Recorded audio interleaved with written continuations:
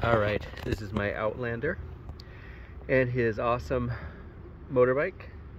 I don't know if there's a special name for this type of motorbike with three wheels.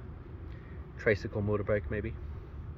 And so he's out here in the middle of nowhere, as you can see, doing his Outlander thing. Probably on some kind of meetup with somebody for some nefarious activity, like uh, they're trading like drugs for money or something, or mods probably mods. Oh, I started playing that game Cyberpunk. That game's a lot of fun. It got some bad reviews because of glitches, but I haven't noticed any yet. It's been a couple few days and I haven't noticed any glitches, so I recommend it.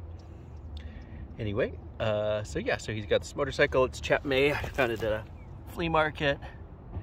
Uh, he's got that little black bar, which is a detector. If he's sleeping, uh, he'll know that there's somebody creeping up on him and then there, his stuff is in that little bag there whatever he's trading. And then the engine turned out well. It was a different color and I painted it silver and thought it turned out well.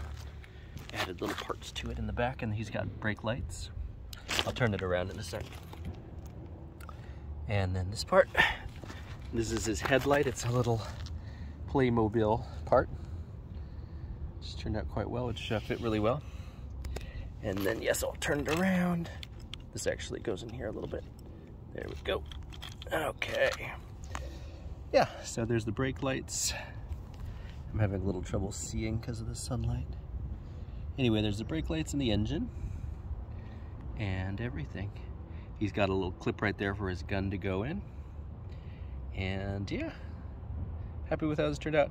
On Warborn Society, which is one of the Facebook pages I am part of, we're doing a uh, competition for motorcycles, so I decided to do this one. Anyway, thank you for watching. Have a good day.